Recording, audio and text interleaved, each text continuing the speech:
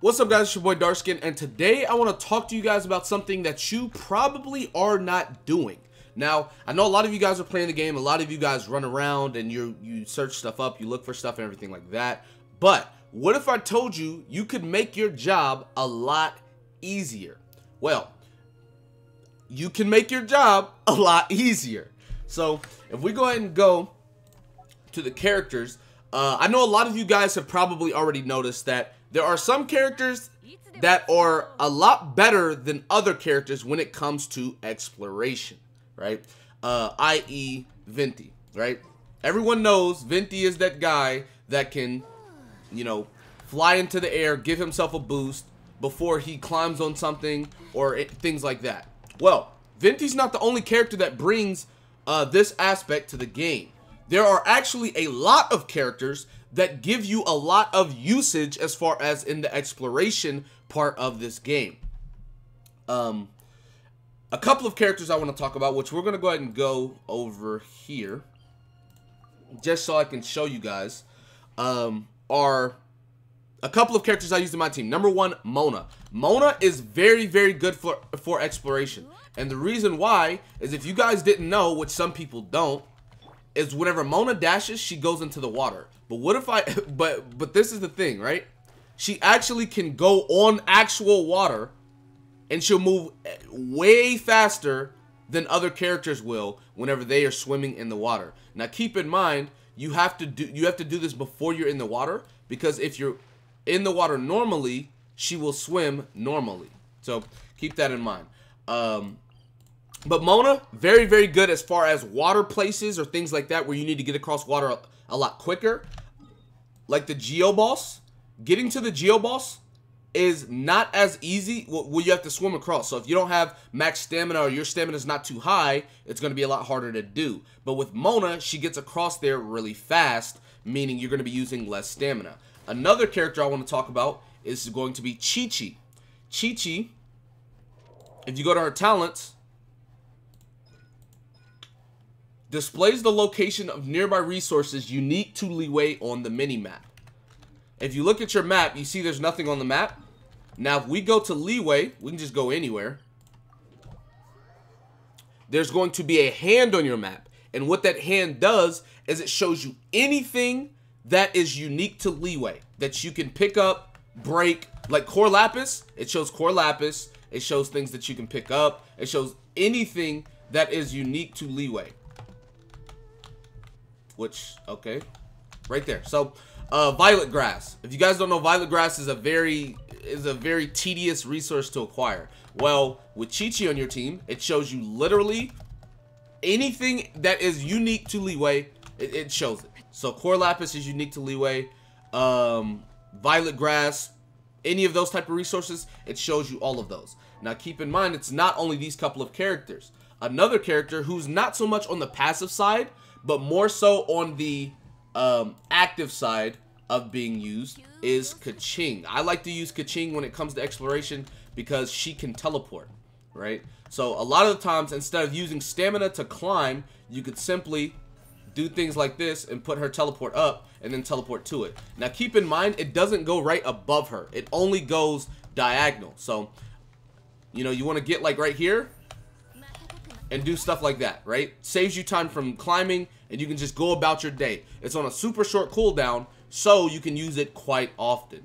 Or if you need to jump across a peak and you want to get extra distance, you can do stuff like that. It'll give you height, and it'll give you uh, distance on it, so that you can get a farther uh, glide time. On top of Keqing, there are characters like Ningguang. Ningguang is very, very useful because she has a passive that displays the location of nearby ore, meaning iron ore, white iron ore, crystal ore, and magical crystal ore. This is a very, very useful if you are trying to, um, if you're trying to basically craft a weapon in the, um, you know, in the blacksmith, at the blacksmith, you can use Ningguang to go around. It'll literally just show a ore on your mini map, and then you'll be able to go mine that ore and keep going about your business. Very, very useful character to, um, you know, find all of those. Now, not only that, there are characters that give you, um, that make you use less stamina when you're gliding. But there are two characters that make you use less stamina in general when you're running. Decreases all party members sprinting stamina consumption by 20%. Very, very good. Decreases all party members sprinting stamina consumption by 20%. So Kaeya and Razor have the exact same passives. They make you use less stamina, which is really nice. Now, obviously, you have people like Amber, who decreases all party members' gliding stamina consumption. So when you're gliding, you use less stamina. But uh, Razor and Kaeya, whenever you're sprinting, you use less stamina. So there you go. Now, Venti also has the gliding one. But yeah, so all of these characters are just very, very useful for normal exploration. Klee is coming out soon, and I know Klee has the exact same passive as Qiqi, except for Mondstadt. So, uh, just like how with Qiqi, anything that is Liyue, it'll show you things unique to Liyue that you can pick up. Well, with Klee, anything that is unique to Monspat, Monspat, Mondstadt, it'll show you, right? I know this is Mondstadt, but this is all Mondstadt. So it, it will show you guys things that you can pick up, blah, blah, blah, that are unique to Mondstadt, like Cecilia's or whatever the case may be. So uh, make sure you guys, you, like, whenever you're just only exploring, whenever you're only exploring, you guys should be making a team for exploration. Now, if you look at my team right here, my team has multiple sources of exploration, so to speak, being Qiqi, uh, who gives me the, uh, it shows me where stuff is unique to Liyue on the map, which, let's be real, I spend most of my time in Liyue, right? As far as running around finding stuff. Like, I'm in Mondstadt, uh, Mondstadt a lot. I keep saying Mondstadt. I'm in Mondstadt a lot, but, like, I'm generally in Liyue almost all the time. So, me having Qiqi on my team is very good. Not to mention, I have Venti, who's going to cover me going vertical and then I also have Mona on my team who's going to cover me going over water. And then on top of that, Beidou is a Claymore user, so she can mine the ores or whatever, core lapis, whatever's in the world. So my my team, which this is my main team, is a very good team for exploration. Now, if you don't have a very good team for exploration, say you have like a one-hand sword user, um, and then you have a couple of other characters that don't really do anything as far as exploration. What you can do is go to your party setup, and create create a team just for exploration.